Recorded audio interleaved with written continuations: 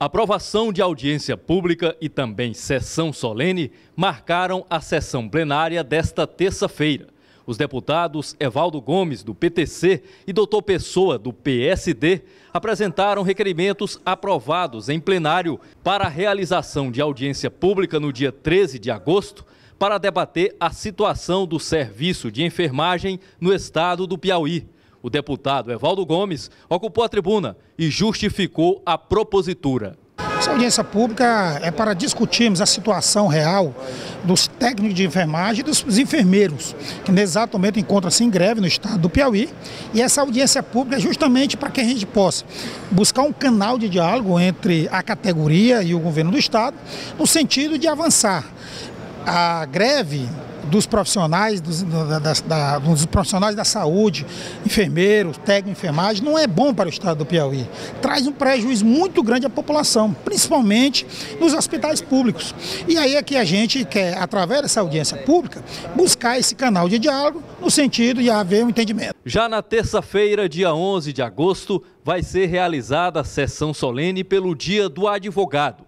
A propositura foi do deputado Robert Rios, do PDT, com subscrição dos deputados Severo Eulálio, do PMDB, e Antônio Félix, do PSD. Vamos fazer uma sessão solene, homenagem ao de advogado, homenageando todos os advogados do Piauí, essa classe que é tão importante para o nosso estado, tão importante para a sociedade piauiense, porque está sempre debatendo os grandes temas importantes para o Piauí e para todo o Brasil. O advogado é uma das profissões mais, das mais importantes do Brasil tem a organização da, do, do advogado, o AB nacional, estadual.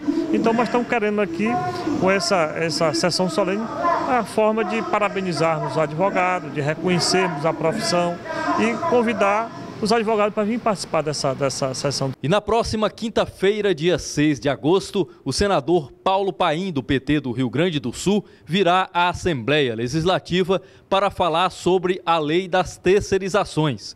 O deputado Aloísio Martins, do PT, repercutiu o tema em plenário. Vamos convidar todas as organizações trabalhistas, representantes do Ministério Público, TRT, ah, todos os trabalhadores para participar dessa, dessa, dessa audiência que vai ter com o senador Paulo Paim, para tratarmos dessa questão da terceirização que afeta a classe trabalhadora. Por isso eu convido a todos para quinta-feira, a partir das duas horas da tarde, no Cine Teatro da Assembleia, com a presença do nosso senador Paulo Paim. E falando em visita, o Poder Legislativo Estadual piauiense recebeu uma comitiva do Conselho Federal de Biomedicina e também o deputado federal Assis Carvalho, do PT. Essa visita também aqui a essa, essa casa para demonstrar aos colegas deputados, demonstrar a todas as entidades organizadas que o profissional biomédico ele é, acima de tudo, um profissional polivalente, que além de atuar na área da saúde, também atua na área industrial, atua na área do melhoramento genético e atua na área de imaginologia. Vim aqui abraçar os meus amigos, desejar boa sorte aí no período que se inicia.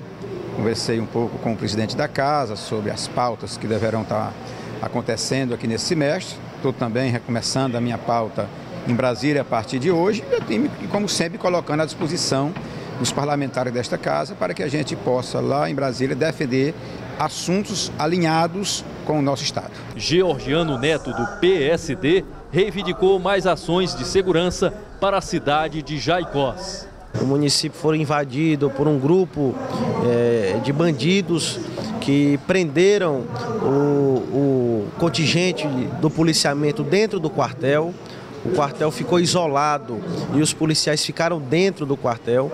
Além disso, houve a explosão do Banco do Brasil no município, houve também troca de tiros por mais de uma hora. Nós estamos é, é, agendando uma audiência com o secretário de Segurança, o deputado federal é, Fábio Abreu, também com o comandante da Polícia Militar, o coronel Carlos Augusto, para que a gente possa, de forma enérgica e rápida, estar tá buscando minimizar essa triste realidade no município de Jaicós. Realizar uma grande feira agropecuária em Teresina. Esse foi o tema levado à tribuna pelo deputado João Madison, líder do PMDB, que também é presidente da Associação Piauiense de Criadores de Gado Zebu, a APCZ. A nossa exposição agora é aqui em Teresina, nós somos presidente da PCZ. Será do dia 6 ao dia 13 de dezembro. Já tivemos uma reunião preparatória com o governador.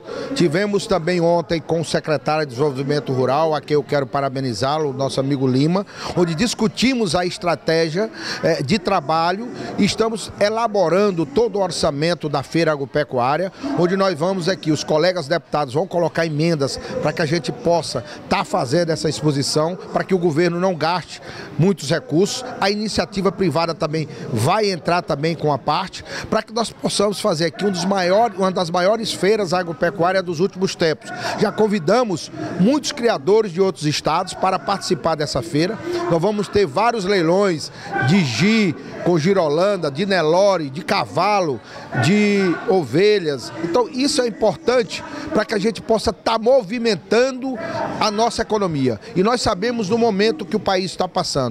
Então quem está segurando nesse momento a economia é o agronegócio, através da pecuária e através também da, de, de, de, de arroz, da soja que nós temos aqui no estado do Piauí.